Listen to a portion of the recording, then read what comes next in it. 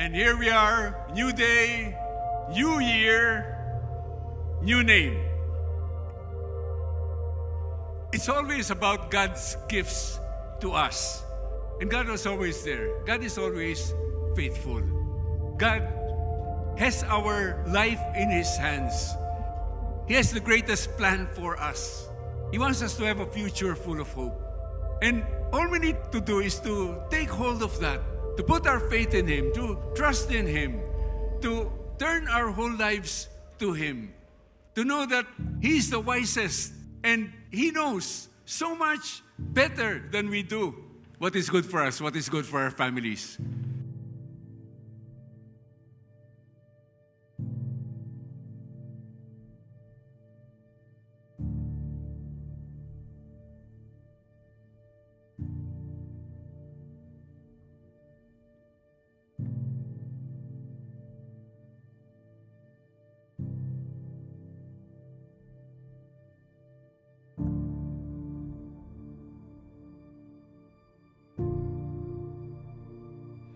Big issue of the day is the coronavirus, COVID 19. And the World Health Organization has just declared a worldwide pandemic. The people of God need to get together to pray and to beg for God's mercy. And the people of God need to continue to do its work of evangelization and mission because the world today is in such darkness and in sin. And perhaps this is why God has allowed uh, COVID 19 to happen to all of us.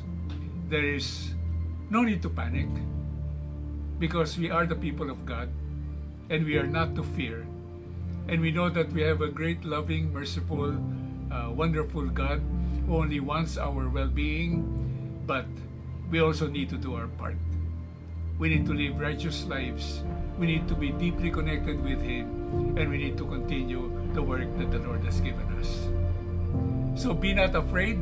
Uh, let us go on with the life and mission that God has given us and let us look forward to better times.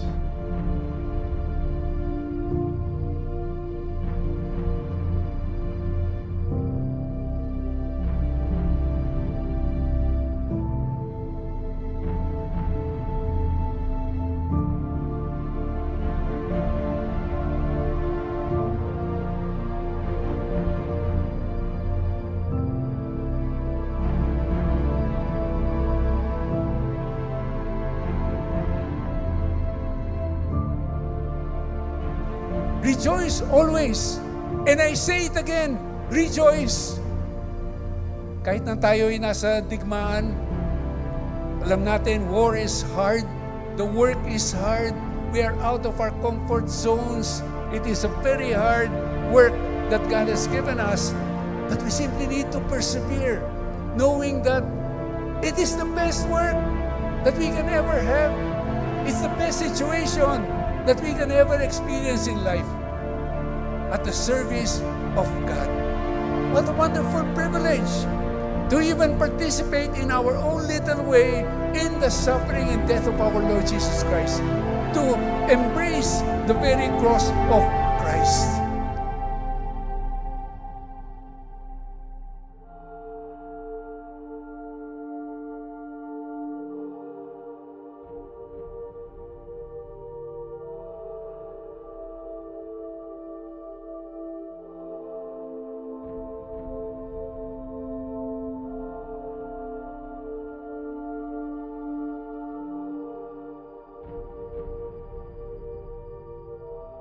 This is our life. This is our mission. We are missionary families of Christ. We are to be God's holy warriors. We are to build our lives, our families, and our community founded on the rock that is Christ. It's such a great work. We are truly blessed by God let us honor our God and give Him always the praise and glory that is due as we go forth as missionary families of Christ.